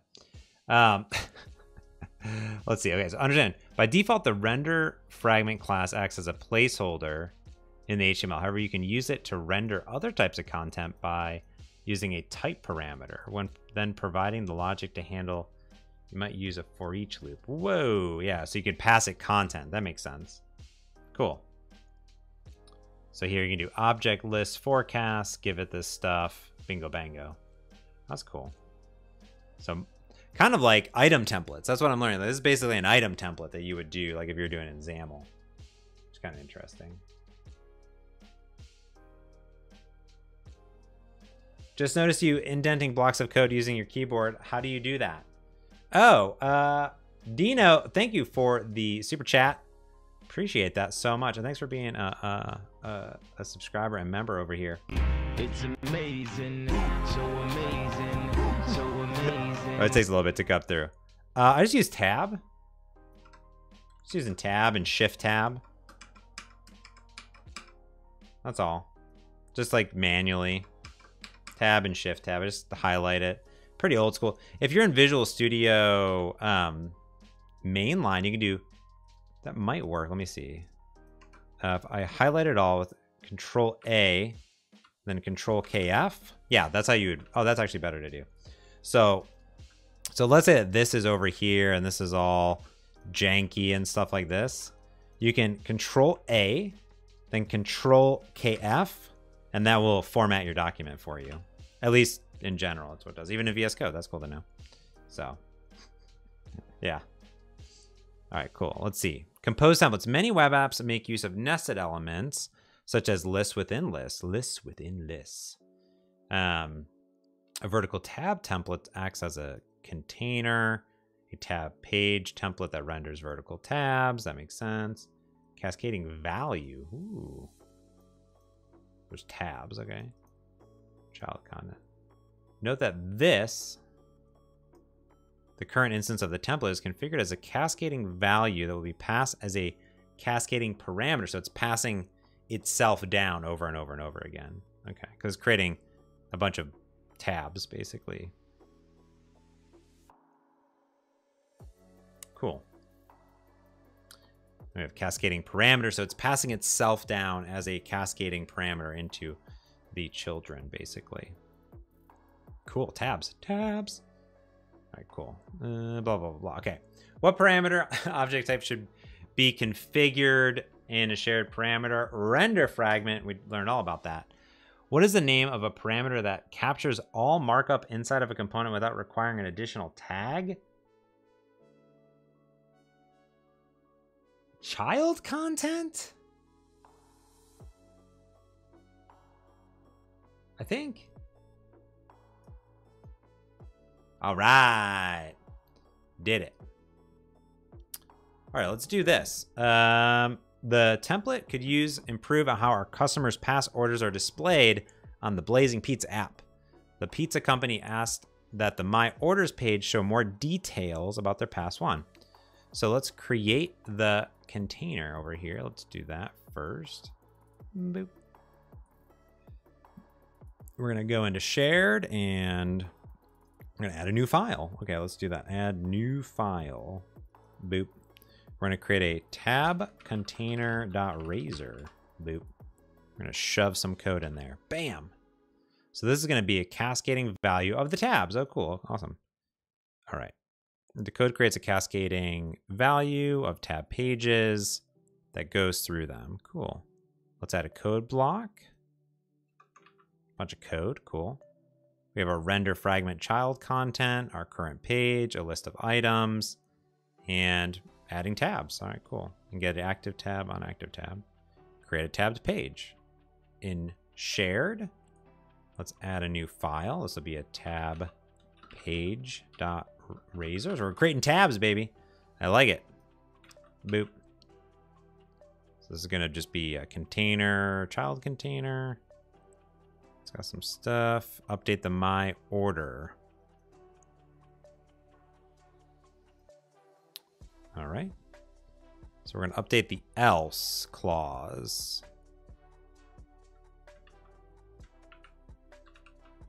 All right. So what we're doing is we're now saying if there are no orders, you're loading.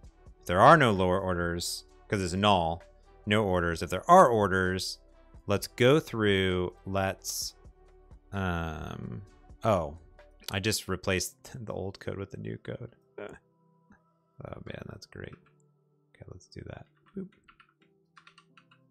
All right, cool. So now what we're doing is we're saying, oh, interesting. Tab container.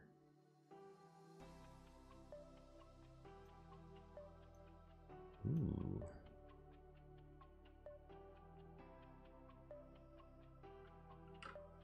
Oops.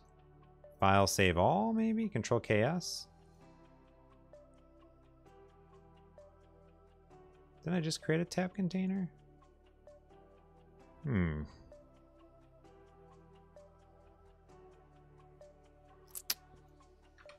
F5?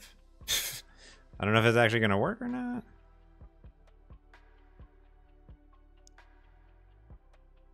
Uh, no orders. Order some pizza. Okay, let's order some pizza. Oh, yeah, definitely something didn't work there. Because of why? It should look like that. I feel like it's missing. Did I miss something? At at using shared? No. Blazing dot shared? Maybe I need to add that in there. I think.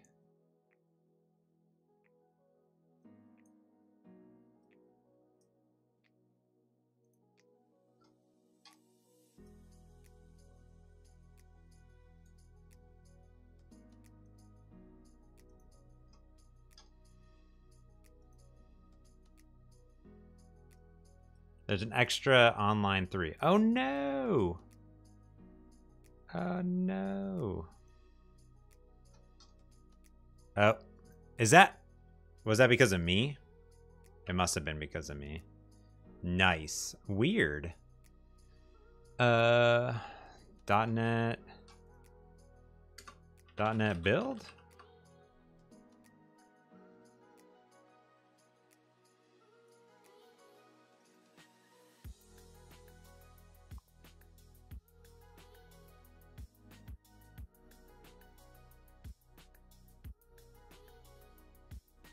Come it doesn't now?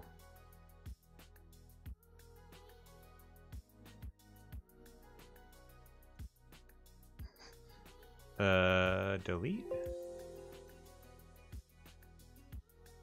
It's here, I swear.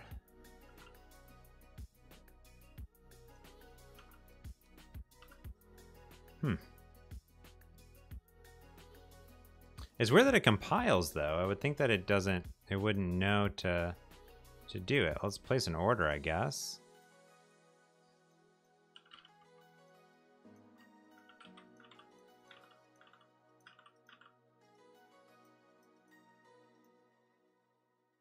Oh no.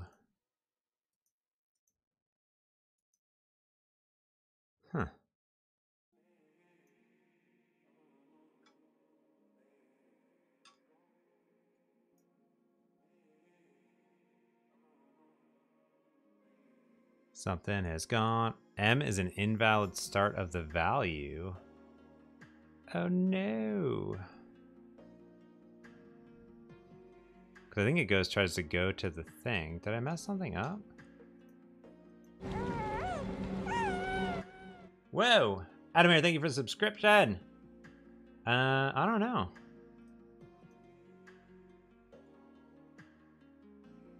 I missed something?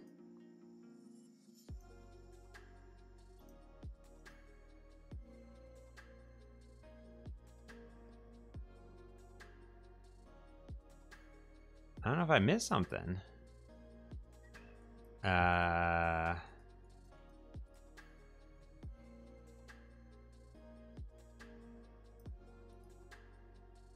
Well, it's in, it's interesting because this found the tab page, right?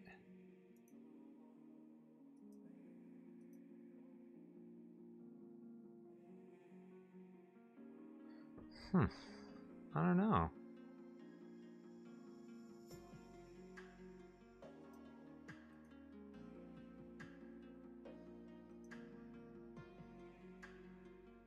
Hmm. It says it can't be found. Uh.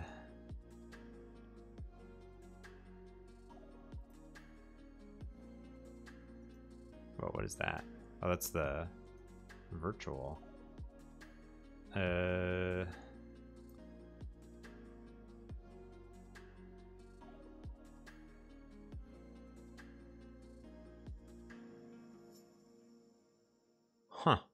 I don't know. I am puzzled. I am puzzled.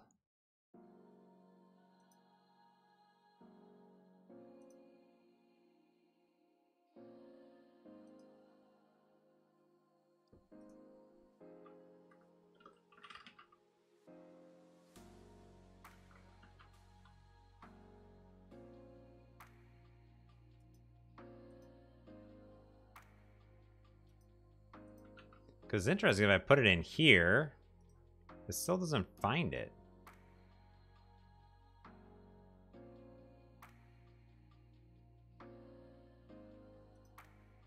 Hmm.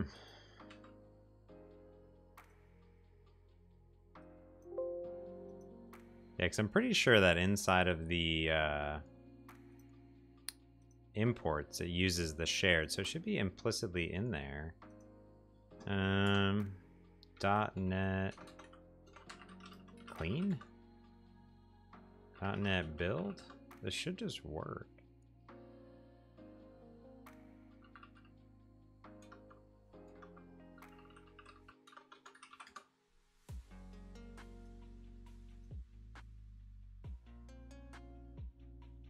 Hmm. I definitely can't find it.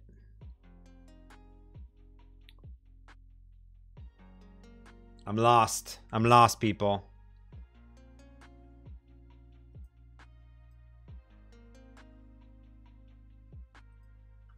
Huh.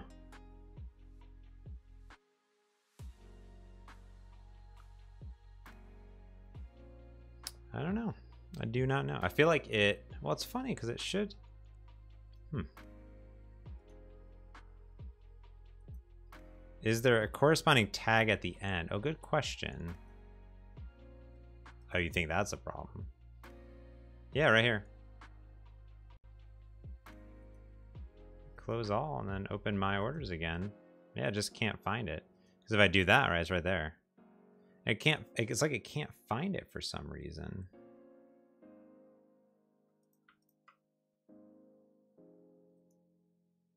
See, un un unexpected handle. Oh, I wonder if this get from JSON orders, base URL orders, internal server does not indicate success.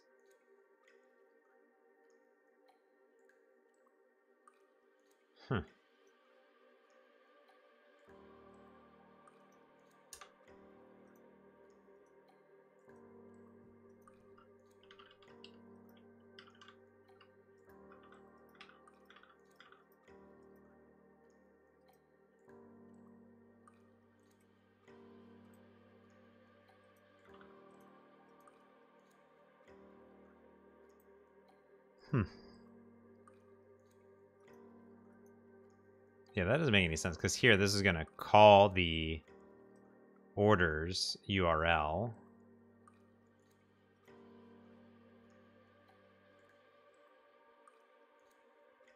Hmm. Which is here. Hmm. I don't know. I don't know.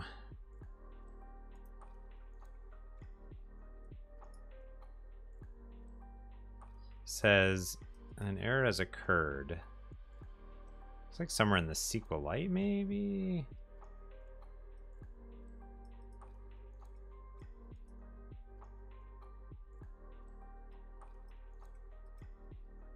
Let's try this out. Let's delete all of this, I guess. Let's try it again with just an F5. I feel like it Something went awry. I don't know.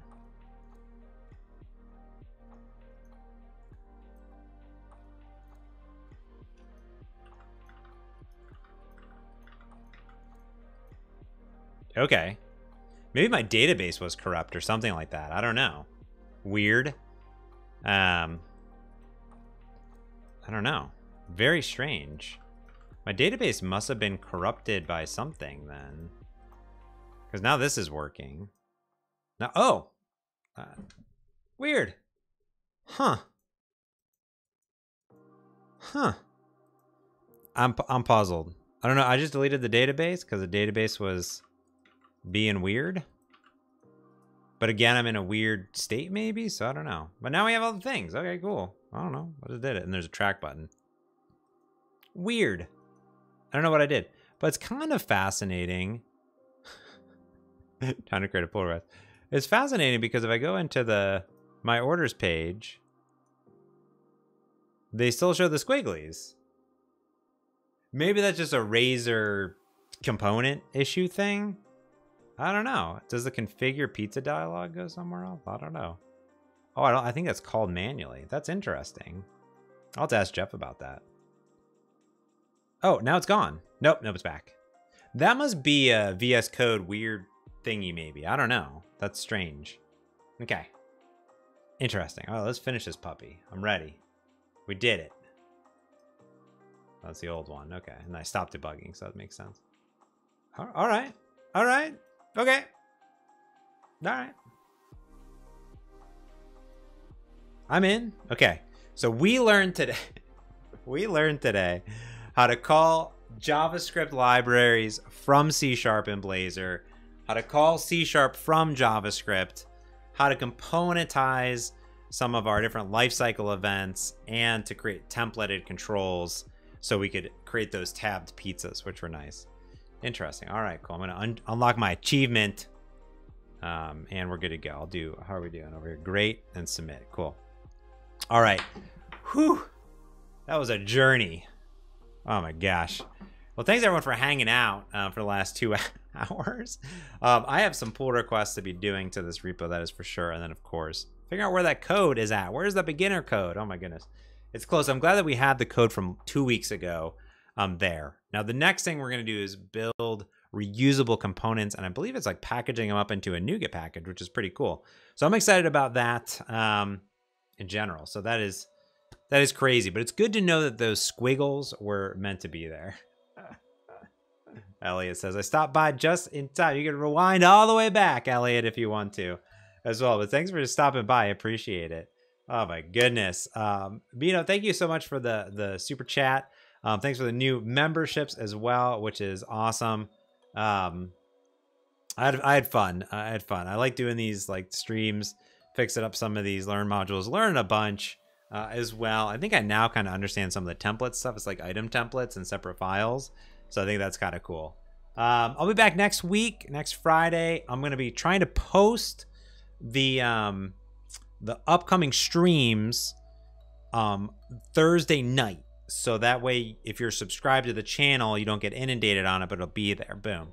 Also, make sure you subscribe to the channel. I have um, on Tuesday, I have a .NET MAUI preview 12 Onimus, thank you so much for the subscription. On Tuesday, I have um, .NET MAUI Preview 12 video coming out. And then uh, I'm going to do a short on Thursday of putting a Doge in your Windows terminal um, in under 60 seconds. So that should be super cool as well. Um, if anyone wants any kind of like different type of content, I had a whole um, the community tab on my YouTube page. I had a survey of what y'all want to see. Um, so if you go to my channel and tap on community right here, I'll put it in the chat. There you go. Um, you'll see a little bit further down, we had like a bunch of engagement, like 800 people voted what type of content you want to see me uh, do on the stream. So more people were interested in me working on .NET MAUI and uh, app clones, um, building those out like I did for the Peloton app a while back. A lot of people are interested in .NET MAUI plus Blazor. A lot of people less interested about just Blazor though, which is also fascinating. But we have one more Blazor episode, which should be relatively short and sweet. Um, and then we're going to do a members only there. I'd like to see someone implement Google Analytics in MAUI for iOS. You should be able to just use the, I did it a long time ago. I to use App Center Analytics, but you should be able to put it, it in there. Just call it a code. Should be some samples on the GitHub repo though, Elliot there. All right, I got to run off to some meetings. Thanks everyone for hanging out. I had a blast. Honestly, just answering everyone's questions for the first like 30 minutes were super duper fun and we got through this thing which is super exciting so I hope everyone has a great weekend um, i'm not there quite yet i got a bunch of work left to do uh, but if you're around today in about four hours head over to the visual studio youtube and i'll be hanging out with mads as he's building some like a in-app review visual studio extension or something like that. Seems pretty cool. So thanks everyone for hanging out. Adrian uh, as well for the new sub, uh, membership. Aiden for help moderating and software as well. Have a go on. We'll check y'all next week. Bye bye.